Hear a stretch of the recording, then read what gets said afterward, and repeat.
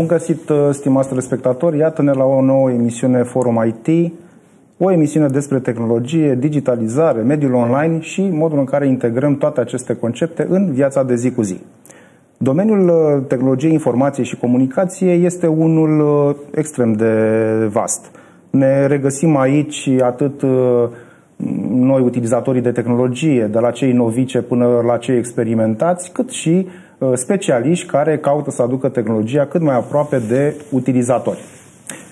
Iar uh, pentru a performa în acest uh, domeniu al tehnologiei, ai nevoie să rămâi ancorat în tot ce înseamnă mediul profesional oferit de către piață, fie că ești în căutare, nu știu, ești în căutare de un job în zona de tehnologie, vrei să-ți crești competențele sau să intri în discuție cu specialiștii din domeniu.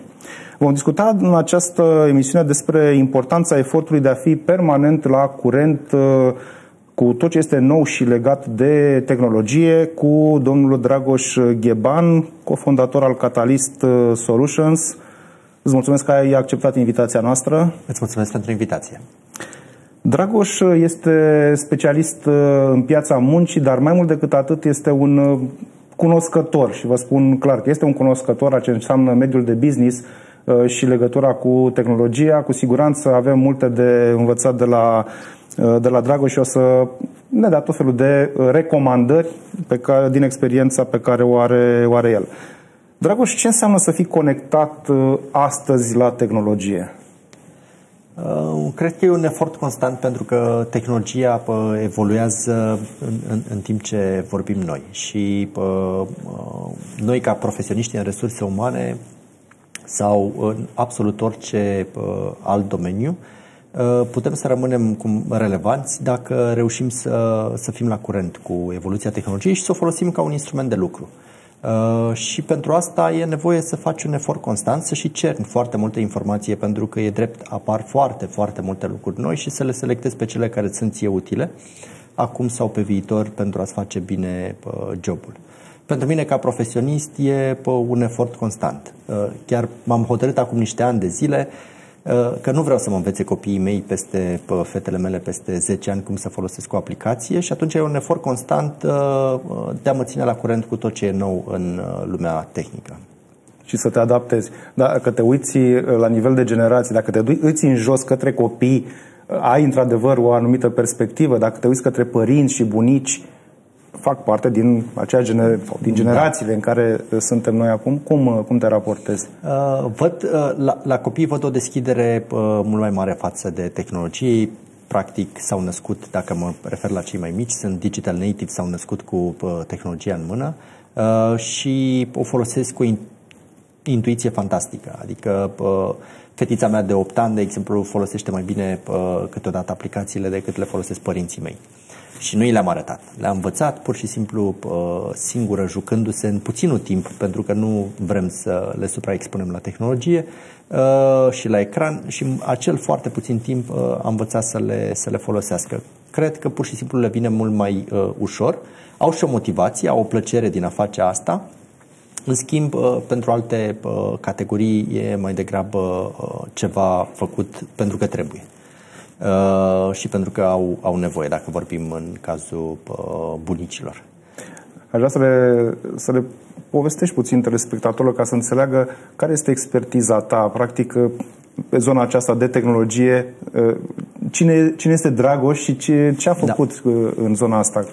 Uh, eu sunt uh, antreprenor din uh, 2005. Uh, principalul business uh, pe care uh, l-am construit împreună cu alți doi parteneri este Catalyst Solutions, care la rândul lui uh, are mai multe arii de expertiză. Odată facem, uh, ne ocupăm de zona de employer branding și ajutăm companiile de tehnologie să atragă candidați.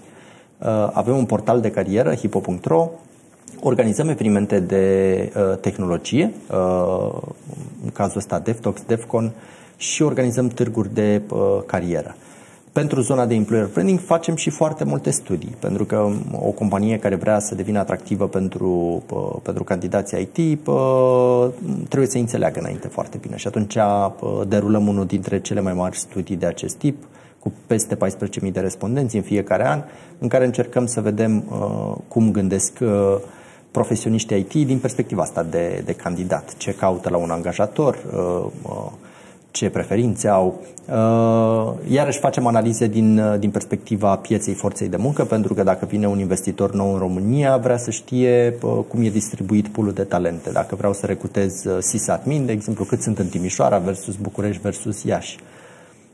Da, dacă până acum noi am vorbit foarte da. mult în, în proiecte de a ne duce către cetățeni sau cei care sunt beneficiarii în unor astfel de sisteme, iată că este bine să vedem cu, care este mediul profesional în care noi ne învârtim, pentru că, așa cum spui tu, sunt atât de multe lucruri de, de spus și mai ales prin analizele pe care voi le aveți de la piața muncii, la modul în care se comportă zona de tehnologie, până uh, la a ne duce către uh, evenimente de profil unde au nevoie să cunoască, să fie în top cu tehnologia pentru a putea să aplice către, prin aplicații, prin soluții, către beneficiarii finali. Da, da. Asta uh, a fost, de fapt, dorința noastră de a rămâne conectați la tehnologie a fost și unul dintre motivele principale pentru care am pornit evenimentele de tehnologie. Nu suntem nici developer, nici ingineri IT, Uh, dar ne-am gândit că având acest background în resurse umane și în organizare de evenimente, uh, putem să ne menținem aproape și în contact cu modul în care se schimbă lumea prin tehnologie, organizând astfel de uh, evenimente. Facem asta de peste șase ani de zile și cred că am, am reușit mai mult decât ne-am propus.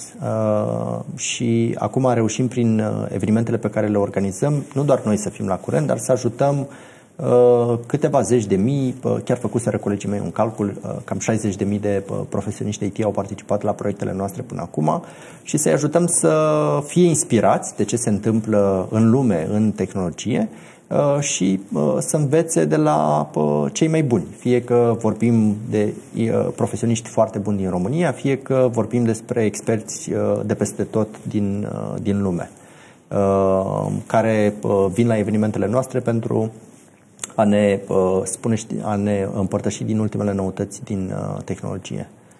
Rugăm uh, telespectatorii, aveți un QR cod pe ecran, rugăm, puteți să intrați în legătură cu noi, vedem pe chatul emisiunii, pe YouTube, puteți să puneți întrebări.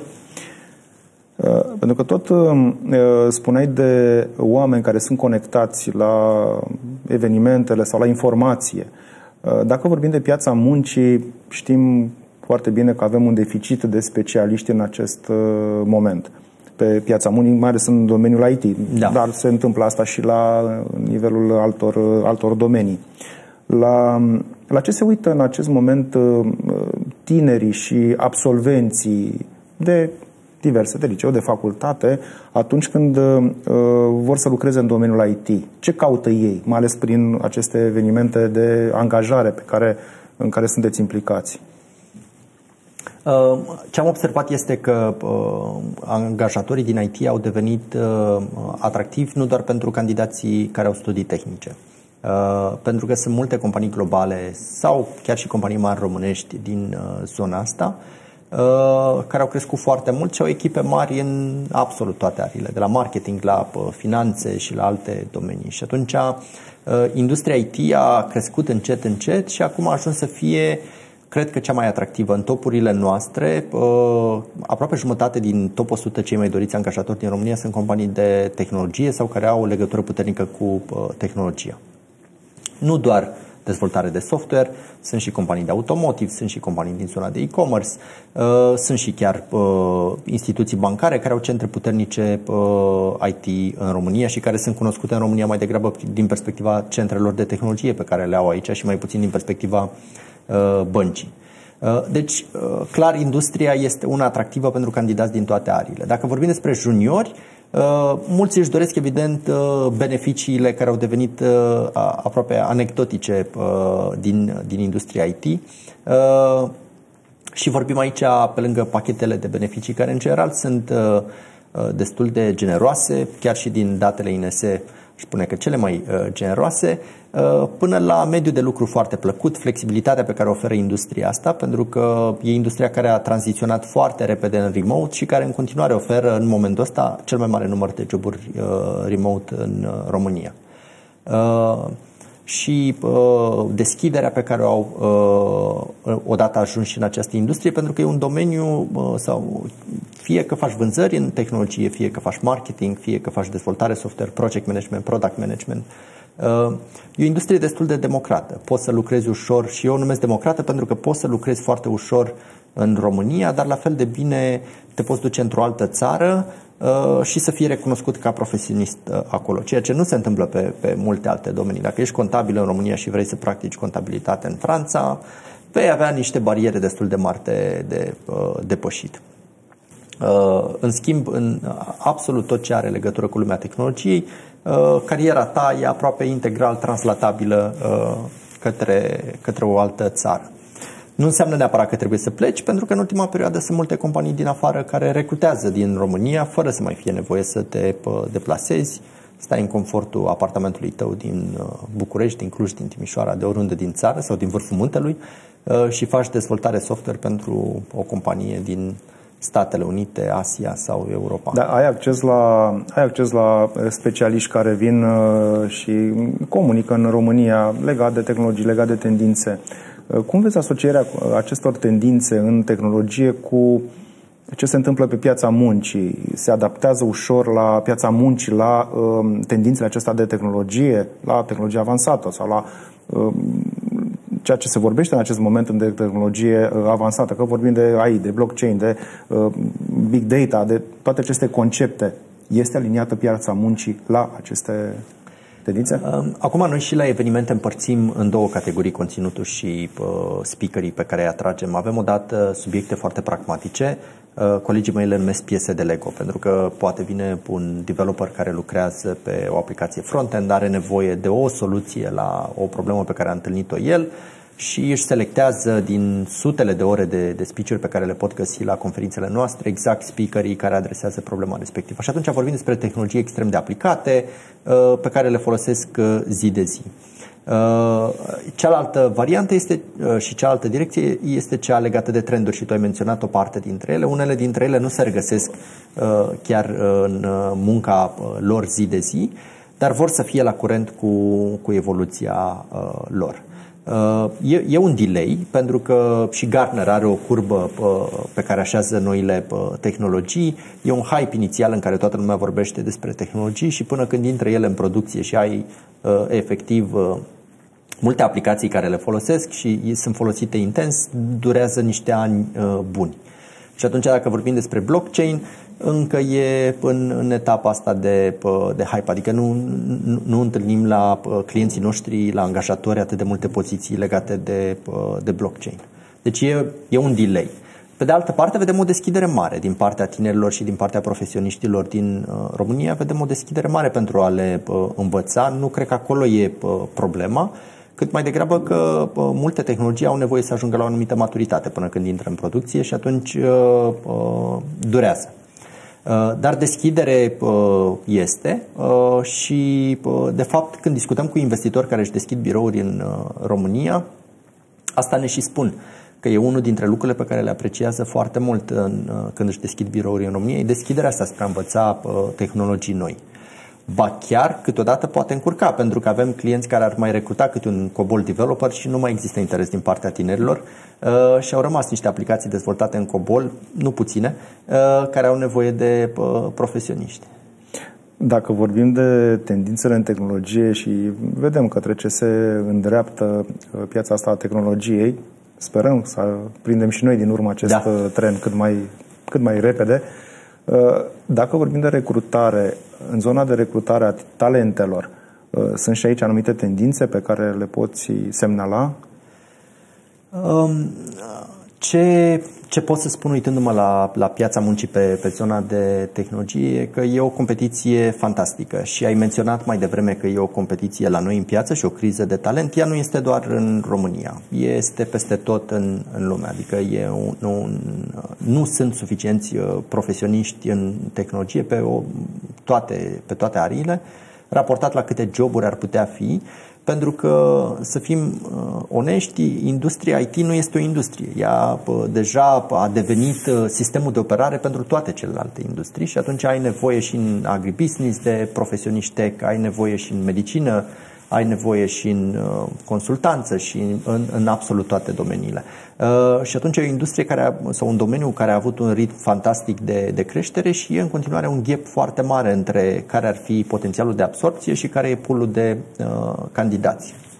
Asta naște mai multe uh, probleme. Na? Uh, odată uh, Uh, faptul că inclusiv companiile care ar putea să uh, recruteze în România un număr mult mai mare de profesioniști nu au de unde să-i atragă sau dacă reușesc să-i atragă, în niciun caz nu-i atrag în ritmul în care și-ar dori.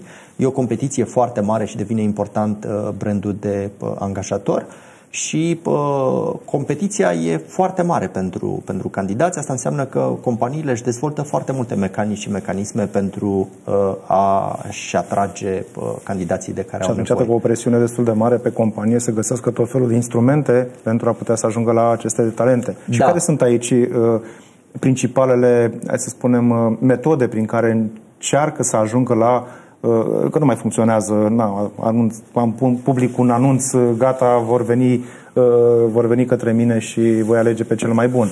Bun, nu mai, funcționează. Nu mai funcționează. Și atunci nu ce mai funcționează, funcționează astăzi? Uh, Odată a, aș vrea să doar o mică precizare, nu mai funcționează pentru de la un anumit nivel de experiență în sus. Pentru că pentru juniori, în continuare, publicarea unui anunț îți poate aduce aplicanți. Noi avem sute mii de companii care recrutează pe portalul nostru juniori Uh, și uh, pe acest grup țintă în continuare publicarea anunțurilor uh, funcționează.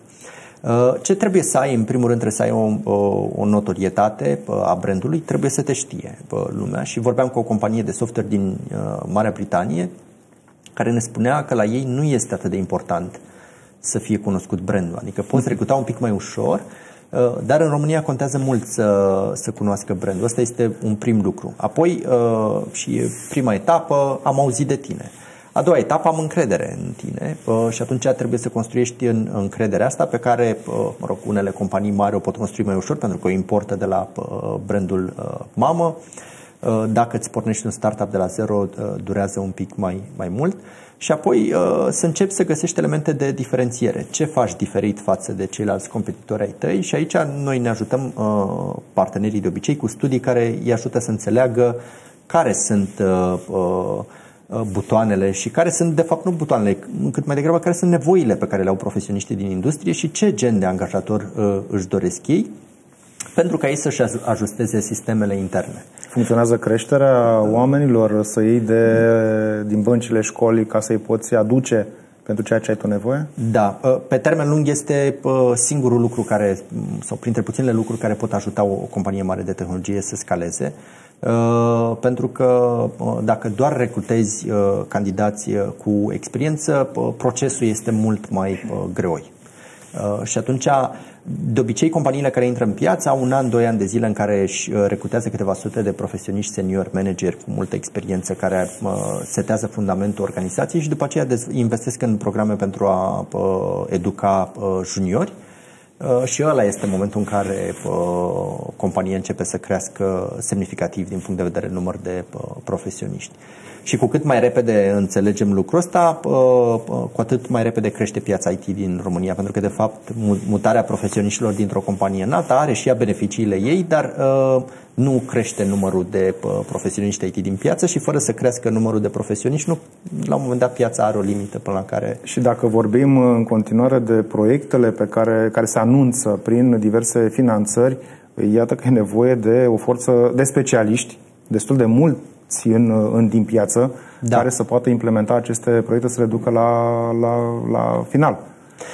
Da, uh, am, am auzit mai multe variante.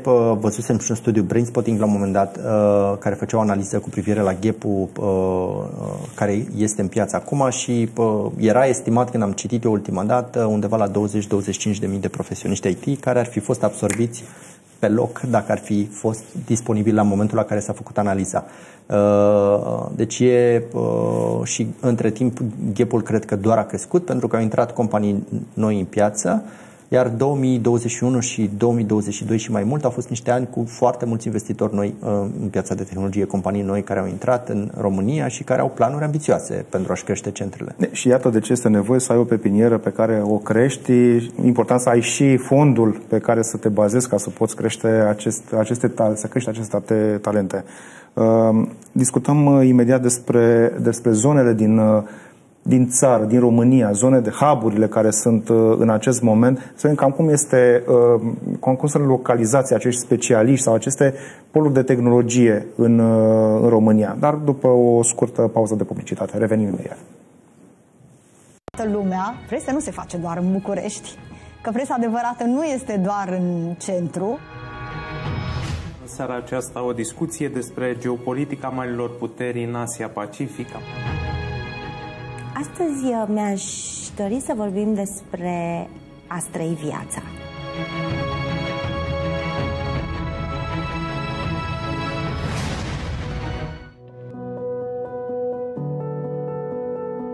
Ne-am reîntors, iar invitatul meu este unul dintre cei mai proeminenți și unul dintre pionierii pieței de blockchain și cripto din România. De data aceasta o să vă spun bună ziua, bine ați venit la Sferă de Interes, ediția de marți cu HD Hartman. Ziua bună! Nou format, nu, nou, nou format. destin. Despre inteligența emoțională, ce este, cum se măsoară inteligența emoțională. Există un timp al poveștilor, iarna, că nopțile sunt ani de lungi și ai vreme și să lucri și să stai la cuvânt zi foarte importantă la București.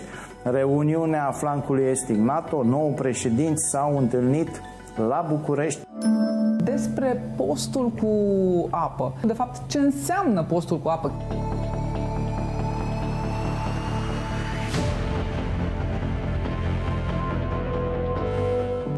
Ne-am reîntors, stimați spectatori, la Jurnal de Business. A fost o discuție atât de interesantă cu domnul uh, ministru Marius Bostan, încât l-am reținut uh, să continuăm dialogul pe câteva idei care ne-au rămas restante.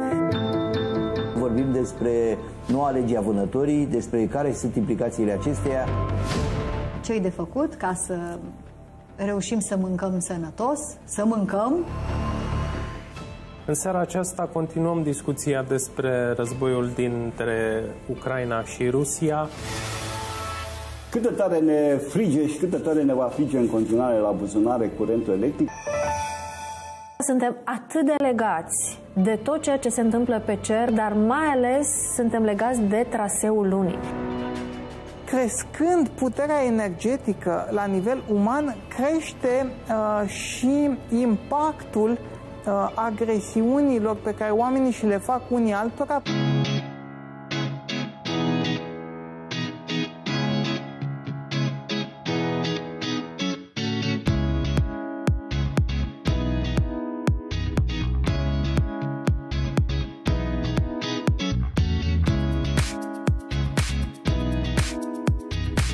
Bună dimineața și bun regăsit la Jurnal de Business. Astăzi vorbim despre ceea ce înseamnă coachingul în afaceri și felul în care un coach profesionist ne poate ajuta să câștigăm mai mulți bani, să ne dezvoltăm afacerea, dar și să avem o viață mai bună. Am inițiat astăzi jurnalul politic și vorbim despre Schengen alături de invitatul permanent al emisiunii, domnul H.D. Hackman. Ziua bună tuturor de la Canal 33, ziua bună Alex Răducanu și celor din spate, este una din echipele cele mai plăcute de mine, este preferata mea din toate televiziunile, echipa de la 33. Mulțumesc, mulțumesc foarte mult! Un subiect drag uh, mie, cartea și tehnologia ne salvează România. Vă mai aduceți aminte de melodia Să fim copii pentru un cozi, dar de ce numai pentru un cozi?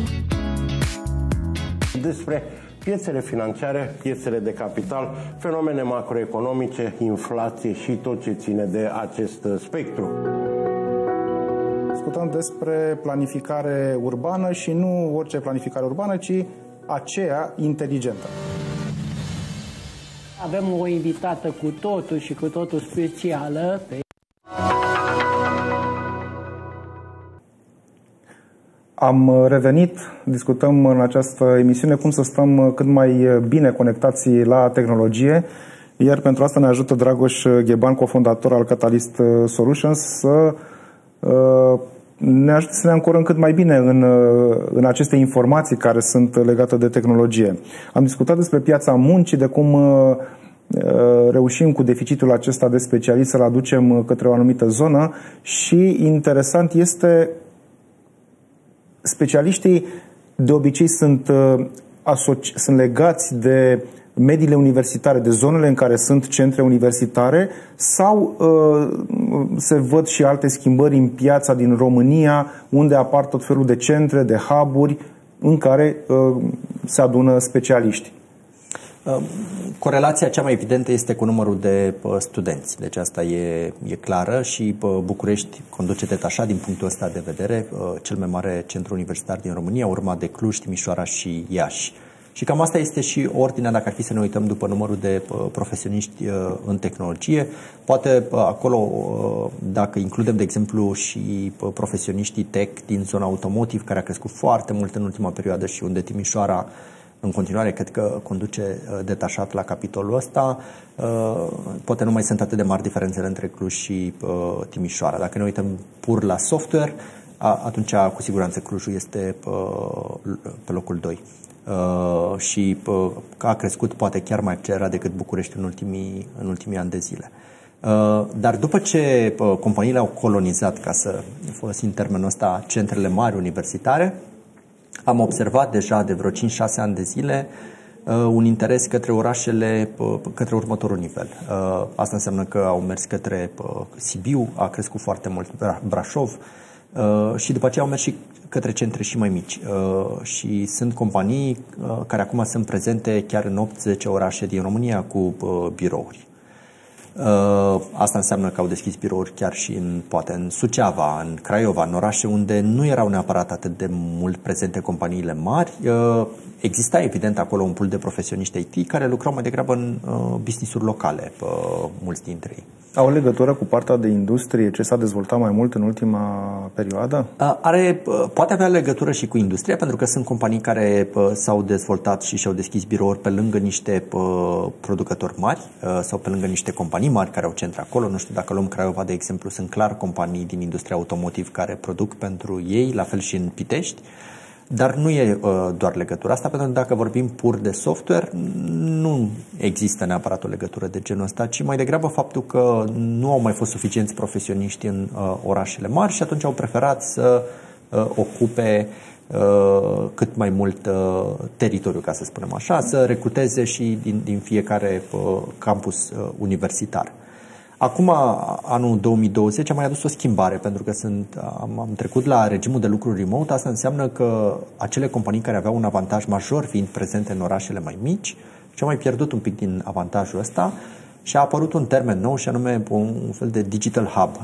Sunt companii care au un birou virtual în aceste orașe și pot avea echipe de 10-15 persoane în aceste orașe fără să existe un birou fizic în uh, orașul respectiv și am văzut această uh, metodă de a se dezvolta uh, la mai multe companii din, din România. O altă modalitate a fost o liberalizare completă, dacă putem să folosim termenul ăsta, în sensul că au început să recruteze candidați de peste tot din, din România. Și atunci nu, nici neapărat fără să mai existe, poate un coleg la Târgu Mureș, doi colegi în Oradea, trei în Timișoara, Uh, fără să existe intenția asta de a crea uh, niște comunități, dar cred că încet, încet acolo vor ajunge și ei, pentru că pentru a-ți menține totuși o, o echipă uh, remote, trebuie să existe acest cadru social și schimbul ăsta de idei care se poate face mult mai ușor Și atunci recomanzi tinerilor talente Uh, care s-au dezvoltat și vor să se dezvolte în această zonă, să caute acolo unde sunt ei, nu numai orașele mari în care se pot duce și sunt uh, centre mari, ci și aceste centre digitale sau digital hub prin care uh, pot să găsească acolo persoane cu care, în care pot să crească. Da. Uh, pot, pot căuta și acum uh, multe dintre joburile, uh, cel puțin din zona de software, sunt remote. Cred că mai bine de o treime, aproape jumătate dintre ele sunt remote. Asta înseamnă că poți să aplici de oriunde din România și dacă ai competențele necesare, vei fi recrutat. La junior lucrurile sunt un pic mai sensibile. Ne uităm că am discutat cu companii care participă la, la evenimentul nostru care chiar mâine începe la sala Palatului și ne spuneau că e bine ca la început să ai un mentor și un coach care să fie lângă tine și atunci ei preferă chiar dacă oferă după aceea libertatea de a lucra de oriunde, cel puțin într-o etapă inițială să ai o minimă prezență la birou. Câteva zile să poți să vii pentru a te întâlni cu echipa, pentru a putea suda o legătură cu echipa. Există și pentru juniori aceste internship-uri remote. Uh, și dacă nu ai alte opțiuni și ești într-o localitate unde nu ai uh, companii la care să lucrezi, internship-urile remote sunt o opțiune sunt foarte bună. Sunt Da... S-au adaptat uh, metodele de învățare sau de internship ca să poți asimila uh, tot ce este nevoie? Uh, nu sunt perfecte, dar sunt uh, rezolvă problema. Uh, și sunt companii care, uh, care apelează la ele în continuare, poate uh, mai finanțează transportul juniorilor către birourile uh, cel mai apropiat birou, nu știu, dacă ești în Suceava, poate te duci până în Iași pentru traininguri, pentru întâlniri din când în când. Uh, dar uh, în continuare uh, recomandarea lor și a noastră este să cel puțin pentru o perioadă de timp să, să fii mai aproape de sediul companiei la început de carieră. După aceea, odată ce începi să funcționezi optim Uh, să, ai, să fii mai autonom la job, devine mult mai ușor să lucrezi uh, remote. Suntem în continuare o piață atractivă pentru țările din afară ca să creeze centre în România? Dacă ne uităm după numărul de centre noi deschise în România, eu aș spune că da. Uh, nu cred că are legătură, adică România cred că e, ca să răspund direct la întrebare, da, este atractivă. Cu toate că au crescut, uh, a crescut presiunea pe salarii, numărul de candidați nu este suficient. Astea nu sunt probleme care dispar dacă pleci din România. Astea sunt probleme care există în lumea tech peste tot în lume. Uh, și discutând cu investitori care au echipe și în alte uh, regiuni, sunt foarte încântați de modul în care lucrează cu echipele din, din România. Sunt oameni care um, sunt inovativi, uh, vin cu idei, contribuie, se implică uh, și astea sunt lucruri pe care le, uh, le apreciază. Uh, iar uh, noi am făcut o analiză și am identificat din 2020 până acum peste 20 de companii care au deschis centre și mă refer la centre care sunt peste 20-30 de persoane uh, de dezvoltare. Unele dintre ele vorbim deja de câteva sute de profesioniști. Deci a fost o dinamică mare. Au fost puține în 2020, cei drept, a, a fost o, o, sau eu știu foarte, foarte puține companii care au intrat în perioada aceea și care au avut curajul să-și deschidă direct remote birou în România. Pentru că fără să ai un spațiu fizic în care să te întâlnești cu colegii, au început business-ul în România direct, uh, direct remote. Uh, dar 2021 uh, a fost un an cu un număr mai mare de centre și 2022 deja și mai mare. Uh, și într-o domenii foarte, foarte variate. În zona de fintech, unele dintre ele, Bucureștiul chiar a ajuns să fie un oraș cu foarte multe companii de tehnologie din zona fintech. În automotive au intrat companii noi uh, și cam în aproape toate domeniile. Deci nu... Uh, dar fintech-ul și automotivul, dacă ar fi să aleg două industrii care au atras companii tech în România, astea două cu siguranță ar fi în top. Dragoș, tu uh, ai acces la, ai acces la tendințe, ai acces la specialiști care vin în, uh, și în România la diverse evenimente și vorbesc despre tendințe, vorbesc despre lucrurile care se întâmplă. Poate că sunt SF-uri uh, uh, pentru multă lume în continuare. Uh, iată, noi vorbim de uh, foarte multe, foarte, foarte multe emisiuni de uh, digitalizare, de tendințele acestea, mai ales de a automatiza procesele, să fii mai productivi. Dar totuși vorbim și de uh, tehnologie avansată, vorbim de lucruri destul de uh, avansate la care oamenii se uită, tinerul, tinerii da. se uită și vor să se uh, aplece asupra lor. Ce poți să le recomanzi tinerilor în acest moment, ținând cont așa de modul în care se îndreaptă tehnologia din ceea ce se vede prin oamenii care vin uh, și în România, da. uh, ce le poți recomanda tinerilor să se aplece către anumite tipuri de, ori de tehnologii, ori de anumite deschideri pe care să le aibă în zona aceasta de tehnologie? Uh, da, da, chiar am, uh, am fost întrebat la un eveniment pentru studenți cam ce ar trebui să facă ei pentru a rămâne relevant. Și o întrebare care mă preocupă și pe mine ca părinte, am două fetițe și vreau să mă asigur că le îndrum într-un mod în care uh, să rămână relevante și să prospere ca profesioniști nu? și peste 10 și peste 15 și peste 30 de ani. Și întrebarea este una complicată pentru că tehnologia mutează și se schimbă atât de repede încât e foarte greu să prevezi ce va fi mâine sau poi mâine. Ce va fi mâine poate e mai ușor, dar peste 5 ani de zile e deja foarte complicat. Ce le-am recomandat tinerilor a fost atunci să, să se împrietenească cu tehnologia, să să se apropie de ea, pentru că realitatea este că dacă încercăm să ne ținem departe de tehnologie, ne vom face joburile din ce în ce mai greu. Deci astea sunt instrumentele și uneltele cu care lucrăm astăzi și văd inclusiv la mine în echipă tinerii care stăpânesc mai bine tehnologia și fac treaba mai repede, mai ușor, uh, obțin rezultate mai mari, au impact mai puternic în business uh, față de cei care uh, o evită.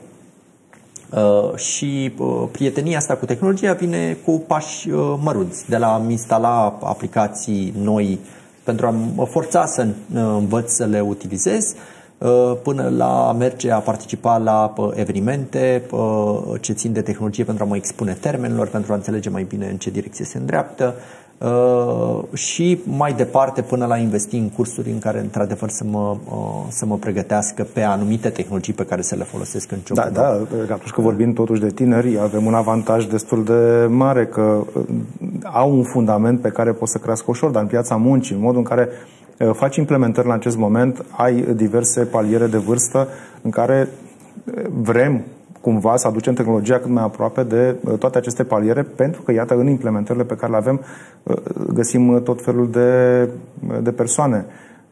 Aici, ce recomandare ar fi, sau cum am putea să fim mai aproape de tehnologie pe toate aceste paliere, nu numai la tineri, care am înțeles și este foarte, foarte bine, astfel încât să ducem ceea ce numim de atâta timp, hai să creștem cultura de digitalizare în România mai mult. Uh Aici tot depinde foarte mult de segmentele de vârstă de care vorbim, pentru că dacă vorbim de persoane peste 50, peste 55 de ani, deja ă, deschiderea pentru a învăța tehnologii noi am observat că este mai, mai mică. Și din păcate ă, se discută mult despre acest segment de vârstă care e mai puțin angajabil acum și are probleme în, în a-și găsi ă, de multe ori joburi. Și asta este una dintre barierele. Tehnologia este una dintre barierele care practic îi blochează. Uh, aici uh, tot pașii mărunți sunt, uh, cred că, un răspuns respectiv să, să te expui la tehnologie, să investești într-un mic curs, să investim în general în educație pentru că este cea mai bună investiție pe care o putem face, are return-ul cel mai mare, nu bursa, nu criptomonedele, ci educația e cea care are cel mai mare dividend pe termen lung uh, și să investim în a ne apropia. N-am un răspuns la o problemă, alt răspuns la o problemă care de altfel este foarte complicată pentru grupul ăsta țintă. Cred că și intervenția statului în a crea programe de respecializare ar putea să fie utilă pentru că e un fenomen uh, masiv, adică persoanele peste o anumită vârstă da. se folosesc greu Cred de acest că este instrument. important până la urmă cu toții care sunt activăm în această zonă de a aduce un plus de informație uh, prin evenimente, prin uh, emisiuni, prin webinarii dedicate, să venim cât mai aproape de cetățeni, de utilizatori, indiferent de, de vârstă, pentru că la un moment dat este foarte bine să înțelegem uh, corect uh, chiar și tehnologia, pentru că vedem uh, proiecte care se nasc în, și în România, unde uh, nu înțelegem foarte bine conceptele și atunci nu știi ce să cerem de la un uh, potențial uh, furnizor uh, care sunt așteptările pe care să le avem. Da. Este, mă întreba cineva care este criteriul cel mai important când recrutează juniori, e limba engleză, dar al doilea e tehnologia, cred. Și atunci, la fel cum investim în, în a ne dezvolta și a vorbi o limbă străină care a devenit obligatorie pentru a lucra în ziua de astăzi, cred că apropierea de tehnologie este un al doilea lucru și într-adevăr sunt toate resursele astea pe care acum le ai la dispoziție, pentru că dincolo de ce resurse dezvoltăm noi și de toate evenimentele pe care le avem noi în România, internetul este o resursă fantastică din punctul ăsta de vedere, nelimitată. Uh, dar aici trebuie și o schimbare mică de atitudine pe care o văd câteodată mai, că vine mai greu la uh, anumite persoane uh, și de-aia și militez pentru această apropiere de tehnologie pas cu pas. E greu ca de mâine încolo să fii un utilizator fluid și să ai casa automatizată și să ai aplicații pentru aproape fiecare lucru pe care îl faci, dar cred că cu pași foarte mici, uh, dacă vrem să ne uh, împrietenim cu tehnologia, uh, putem de la a învăța să folosim foarte bine un motor de căutare până la a ne instala aplicații exact. pentru știri, dacă asta consumăm, dar să nu respingem. În, în recrutare sunt mulți uh, candidați care termină chiar facultăți de, sau universități de business care zic că nu, eu nu vreau să mă fac contabil niciodată și știm că e așa o uh, isperie. E, la fel sunt și oameni care resping efectiv tehnologia, nici, nu, nici măcar nu vor să încerce pentru că pare ceva extrem de complicat și ce putem să le spunem este că acum chiar sunt resurse, multe din aplicații au devenit mai prietenoase și că există beneficii reale uh, pe lângă multele neajunsuri pe care tehnologia ni le poate aduce în viață, există beneficii majore pentru, pentru noi dacă ne apropiem de ea. Ai amintit de, de tot felul de evenimente care se practică. Care este piața evenimentelor de profil în acest moment? Uh, noi suntem implicați în piață de, de foarte mult timp, acum uh, din două perspective, cea de evenimente pure de tehnologie pentru profesioniști uh, IT și cea de evenimente de recrutare.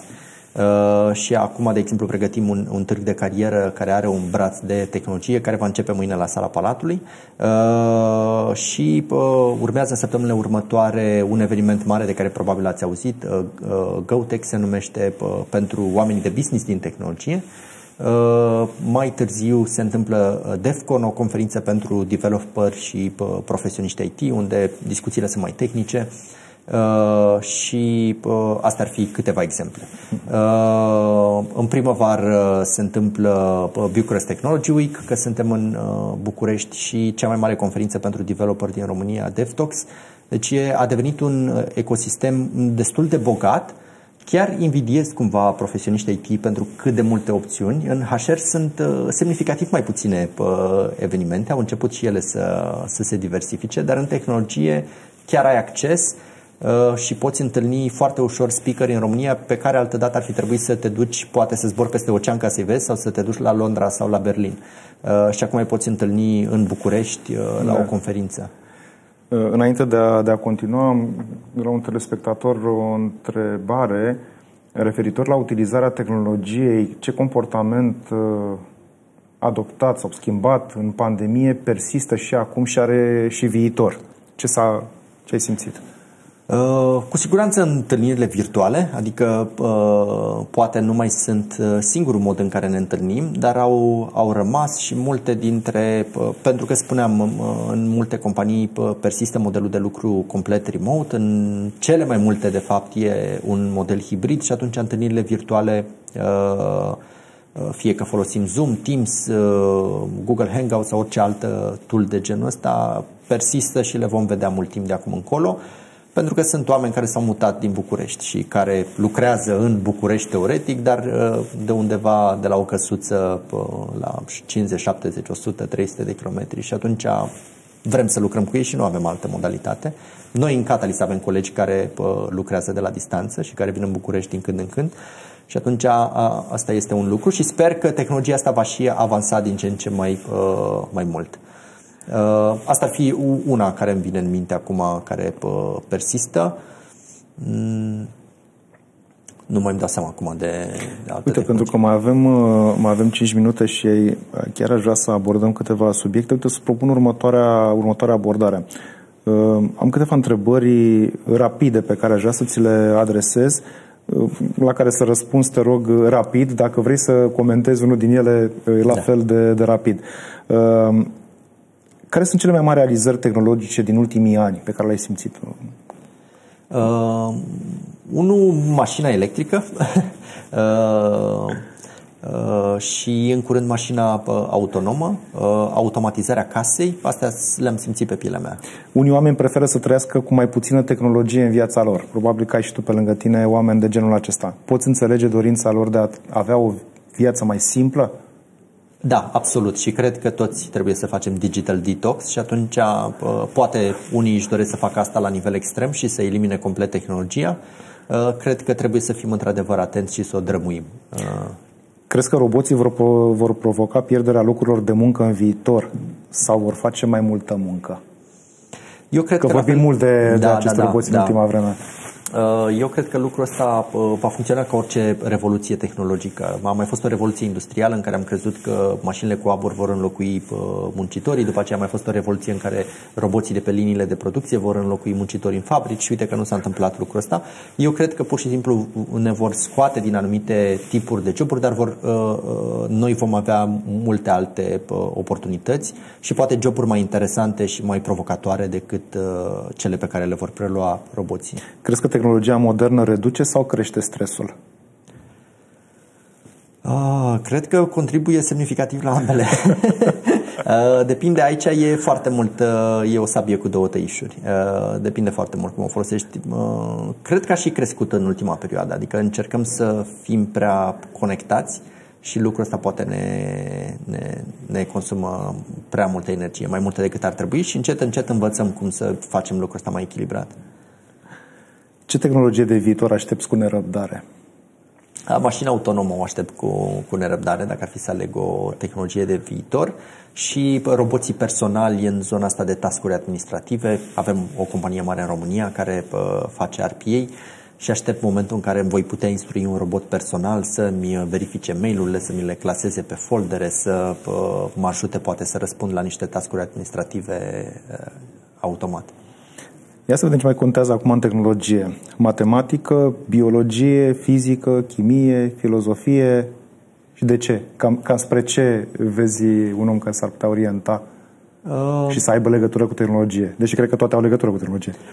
Acum depinde și în ce țară locuiești, pentru că pă, chimia, biologia, biotehnologia, de exemplu, e o zonă care a crescut foarte mult, Corect. Uh, dar unde sunt mai puține oportunități în România pentru moment, deci poate te duci, lucrezi în altă parte și te întorci la un moment dat în România și deschizi un business aici și vei fi unul dintre cei care creează o piață pe zona asta. Momentan, matem- științele exacte, uh, clar, au o legătură mult mai directă cu tehnologia, pentru că ți ascut uh, gândirea asta abstractă, Uh, și uh, dar s-a văzut până la urmă că n-ai nevoie să combini tehnologia cu toate aceste domenii uh, pentru că eu vorbeam înainte de emisiune inclusiv da. pe zona de, nu știu, de, de big data, de a indexa data. Ai nevoie de un om din filozofie să te ajute în a găsi, nu știu, anumite metode să te strecori în, cu anumite cuvinte cheie în, în tehnologie da. conținutul care era Asta cred că s-a schimbat, adică uh, industria tech nu mai este de mult un domeniu în care se lucreze doar oameni uh, care sunt tehnici, uh, pentru că ai nevoie de, nu știu, ai nevoie de translatori, ai nevoie de oameni care înțeleg uh, tehnologia, dar înțeleg și domeniul în care uh, trebuie să o aplici. De altfel, dacă ar fi să aleg un, un domeniu pe care aș paria pentru o carieră, ăsta ar fi de translator. Uh, de om care înțelege bine medicina, dar înțelege și tehnologia și poate funcționa ca un liant între cele două lumi, pentru că ele comunică destul de greu fără un astfel de om de legătură. Cum putem crea ca țară cât mai mulți inventatori sau inovatori?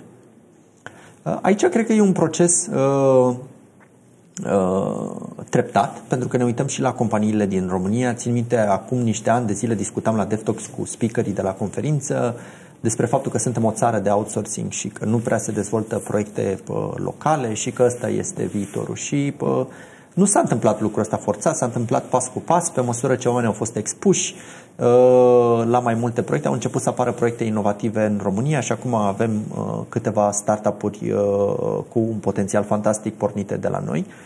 Și cred că e un proces gradual prin care se întâmplă lucrul ăsta. Cred că trebuie să ne și expunem și ăsta e unul din lucrurile valoroase la un eveniment de tehnologie, că te forțează să te duci cu mintea... Și ultima, ultima întrebare, în câteva secunde, cum îi aducem pe toți la bord? Uh, pe cine? Pe toți? Pe, pe toți utilizatorii pe care ar trebui să îi implicăm în tehnologie. Um, da, e un răspuns greu la întrebarea asta. Eu îi aștept la evenimentele noastre și acolo vor avea ocazia să se cunoască unii cu alții pentru început. Dragoș Gheban, mulțumim uh, că ai acceptat invitația noastră. Sperăm că a fost o, invita- o emisiune uh, frumoasă. Îl mai așteptăm cu alte informații, inclusiv uh, pe zona aceasta de piața muncii, de ce se întâmplă în zona de evenimente, ce se mai vorbește nou, care sunt tendințele, pentru că e important să stăm conectați la tehnologie. De ce? Pentru că tehnologia este parte din uh, viața noastră, schimbă lumea, schimbă, schimbă vieți și ne aduce cât mai aproape de uh, informație, iar informația este putere. Până data viitoare, rămâneți conectați la informație și la oportunități, rămâneți pe Canal 33 uh, România. Ne vedem data viitoare.